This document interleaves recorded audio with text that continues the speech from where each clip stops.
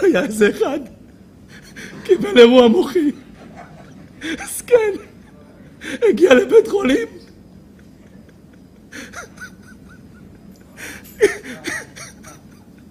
מסכן, שוכב בבית חולים. אחרי שבועיים התעורר מהתרדמת. מי לידו? כפרה עליה, אשתו. הוא מסתכל, אומר לה, כפרה עלייך. אז היא אומרת לו, כפרה עליך. אומר לה, תדעי לך, חייב להגיד לך משהו. אף פעם לא אמרתי לך. מה הכפרוני? שלושים שנה אני נשוי לך.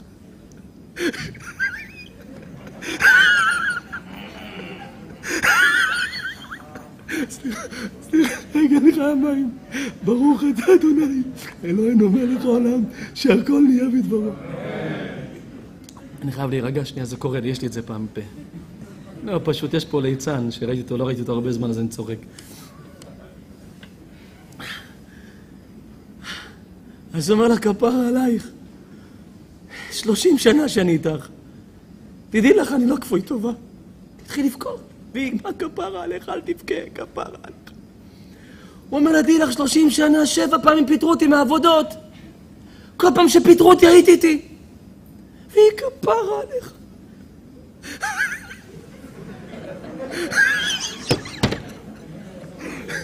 ואז הוא אומר לה, שתדעי לך, אני לא אשכח את הדום לב שקיבלתי, ואת האירוע לב שעברתי מהקפים, את היית לידי.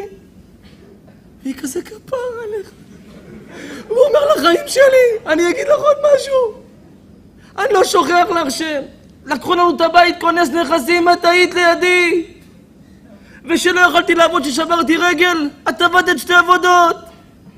ושפיטרו אותי, את היית שם.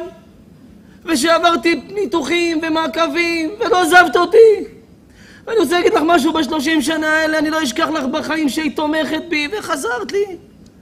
ושלכלכו עליי בעבודה, הגנת עליי. ואחר כך הרסו לי את העסק, ושמרת עליי.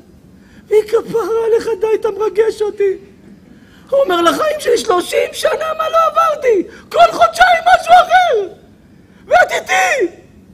היא אומרת, אה, מה? הגעתי למסקנה כפרה, מה? התנ"ך שלי.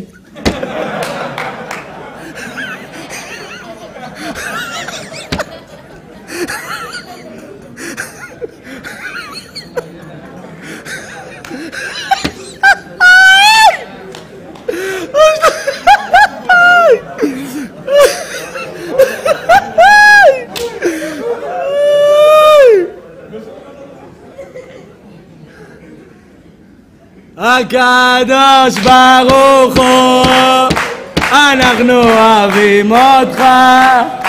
הקדוש ברוך הוא